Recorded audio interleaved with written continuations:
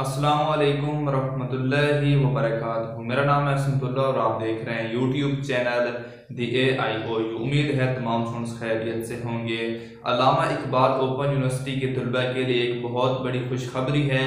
एक अच्छी अपडेट है जिसके बारे में आज की वीडियो के अंदर आपको इन्फॉर्मेशन दे दी जाएगी।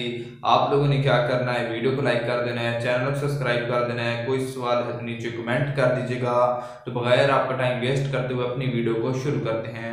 तो अपडेट यह है कि अलामा इकबाल ओपन यूनिवर्सिटी की तरफ़ से तमाम क्लासेस के तालब इलमों को, जिनके अंदर उनकी वर्कशॉप होती हैं, उनको एलएमएस के यूज़र आईडी और पासवर्ड जो है वो यूनिवर्सिटी ने बजरिया मैसेज भेजने स्टार्ट कर दिए हैं।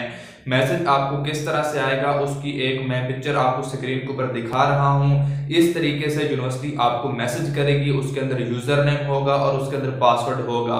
याद रहे, ये यूज़र नेम और पासवर्ड सिर्फ़ और सिर्फ़ उन स्टूडेंट्स को दिया जाएगा जिनकी वर्कशॉप होती है। तो matric F I com B A B com के अलावा जितनी भी क्लासेस होती हैं, तमाम क्लासेस की वर्कशॉप होती हैं और वर्कशॉप जो है वो ऑनलाइन माइक्रोसॉफ्ट टीम्स एप्स के थ्रू ली जाती हैं।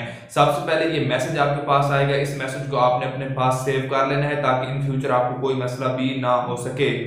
उसके बाद अगला प्रोसेस आप लोगों ने क्या करना है? अगला प्रोसेस ये है कि यूनिवर्सिटी की जो एल एम एस पोर्टल है, उसके ऊपर आपने असाइनमेंट्स भी जमा करवानी होती हैं और आपने वर्कशॉप भी अटेंड करनी होती हैं। तो ये जो मैसेज आया है, ये एल एम एस का ही है, ये आपने सेव कर लेना और दूसरा जो है वो सी एम एस का यूज़र आई पास ये दोनों चीज़ें आपने अपने पास सेव कर लेनी है।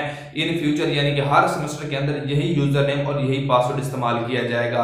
ये जो मैसेज आ रहा है, ये सिर्फ़ और सिर्फ़ फ्रेश स्टूडेंट्स को, जिन्होंने पहली दफ़ा एडमिशन लिया है, उनको पासवर्ड आ रहा है। बाकी जो स्टूडेंट्स हैं, वो दूसरे सेमेस्टर वाले हैं, तीसरे हैं, चौथे हैं, उनको जो पिछले सेमेस्टर के अंदर यूज़र नेम और पासवर्ड दिया गया था, इस सेमेस्टर के अंदर वो वही यूज़र नेम और पासवर्ड इस्तेमाल करेंगे, उनको न्यू यूज़र नेम और पासवर्ड नहीं मिलेगा।